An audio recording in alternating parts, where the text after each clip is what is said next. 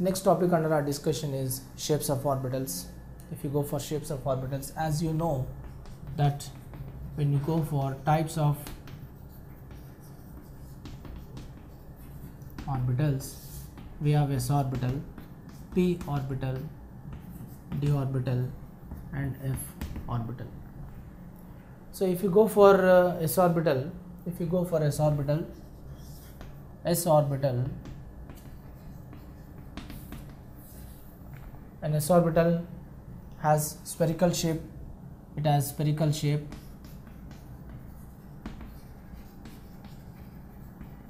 Spherical shape with the uniform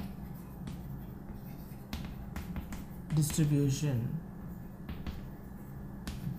of electron cloud.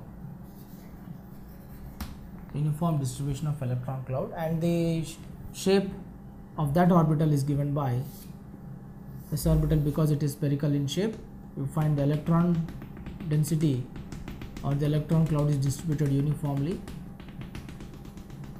Electron cloud is uniform and uh, you find that the electron cloud distribution is uniform. That's what i'm saying.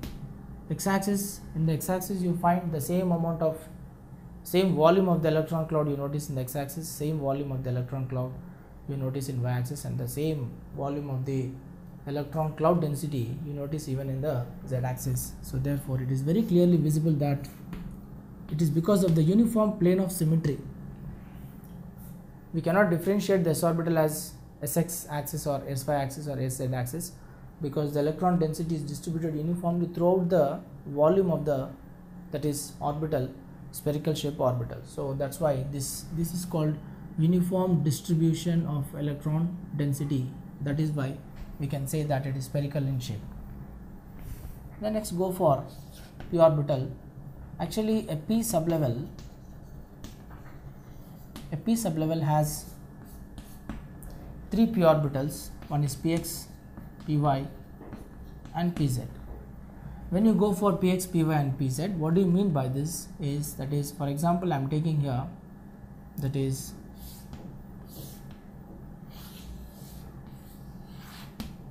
if i am noticing.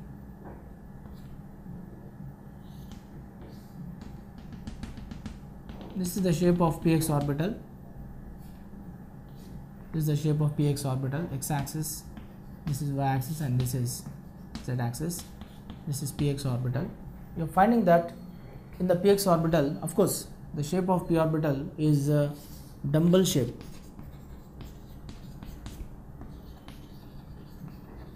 dumbbell actually. So we call it as dumbbell shape. If you take dumbbell shape this dumbbell is made up of two lobes. This these lobes are directing themselves in a particular axis.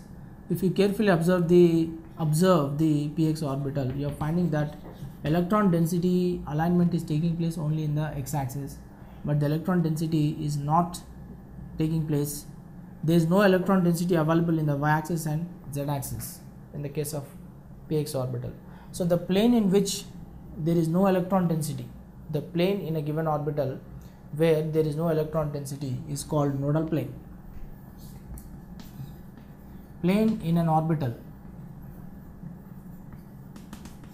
plane in an orbital with the zero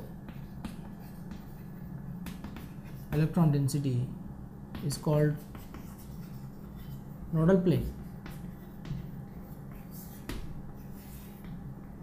so we are finding nodal planes in this px orbital. We are finding nodal planes in z axis we are finding a nodal plane and in y-axis also we are finding a nodal plane because here there is no electron density and here also there is no electron density. In y-axis there is no electron density in z-axis also there is no electron density. But however the electron density is there in the x-axis it is along with the two lobes. The two lobes joins together to form a dumbbell and this dumbbell is oriented along the x-axis. And this is the shape of the px orbital. Go for py orbital. If you go for py orbital again if you take here that is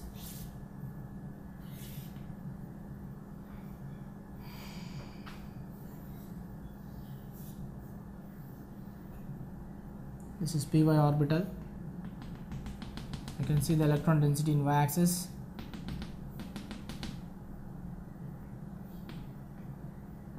y-axis x-axis and this is z-axis. This is py orbital.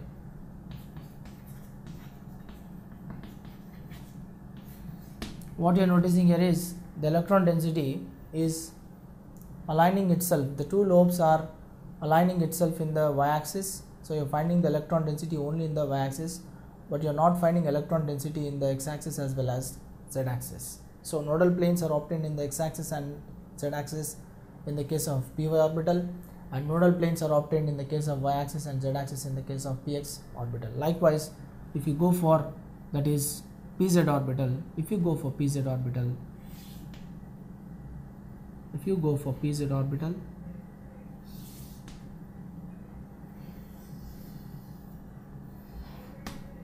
if you go for pz orbital this is x-axis and this is y-axis and this is z-axis. z-axis.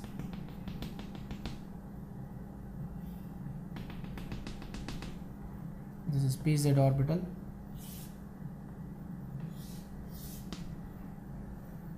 This is pz orbital this is z-axis this is x-axis and this is y-axis. This is pz orbital.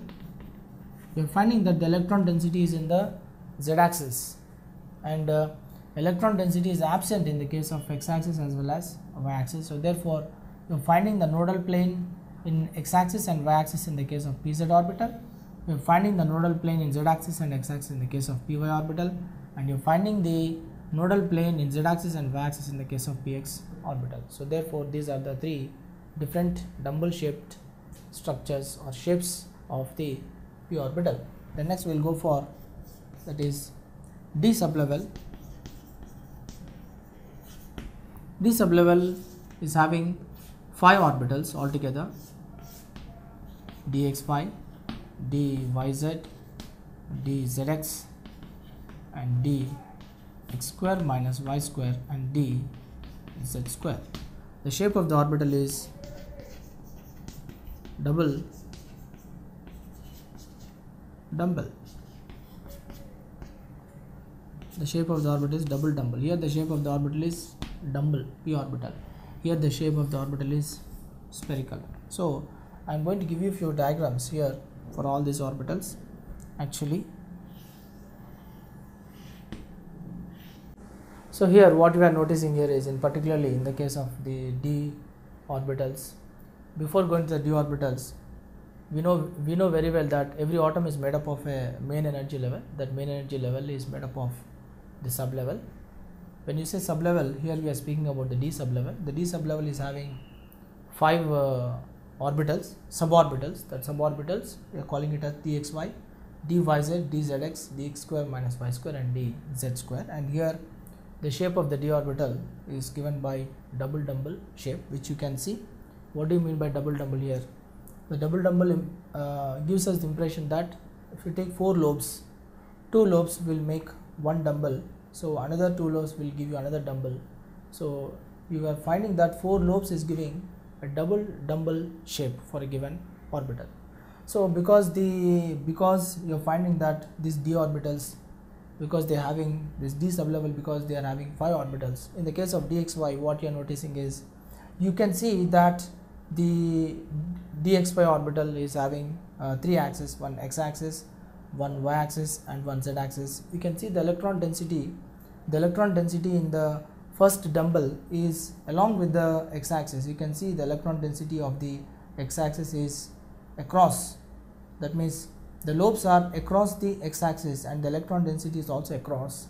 And uh, for y axis also you can see the electron density is across the y axis of the two lobes. Okay that is you can see the two lobes here. And where the electron density is not available the electron density is not possible in the case of the z axis that is because it's a double dumbbell we can say that the electron density is 0 with respect to z and y. Electron density is 0 and electron density is also 0 with respect to z and x. So electron when the electron density is 0 in yz and zx that means the nodal plane in the case of dxy orbital is available in the plane of zx and zy. But however the electron density in the dxy orbital is across the x axis and across the y axis go for the same understanding in the case of dyz orbital also. Again dyz orbital is double dumbbell we can see that the electron density is across the y-axis and across the z-axis. From the diagram it is very clear. And where the electron density is not available the electron density is not available with the zx plane and uh, yz plane you find that there is no electron density. So the nodal plane is obtained in zx and the xy plane of dyz orbital. If you go for dzx you can see that the electron density is across the z-axis and across the x-axis from the diagram and the electron density is completely not available in the case of y-axis. If it is not available in the case of y-axis that means the nodal planes where the electron density is 0 you are able to observe in uh, xy and uh, yz plane. If you go for dx square minus y square here the electron density is along with the x-axis and along with the y-axis here. If you take that is the axis if you take the axis here this is x-axis and this is y-axis and this is z-axis this is zx. Okay so if you come here dx square minus y square here this is x-axis and this is y-axis and this is z-axis so electron density is very rich in the case of the x-axis and electron density is very rich in the case of y-axis that's why here the orbital is dx square minus y square. And here this is a collar like thing. This is a collar dz square. And it has two lobes. The two lobes are the electron density is across the z axis the two lobes in the dz square orbital are separated by collar and it's a single lobe single double lobe which gives the dumbbell shape structure that is dz square. Only dz square is having the dumbbell shape like structure but remaining all four orbitals of the d orbital they are double double in their shape. And this gives us the complete information about the shapes of orbitals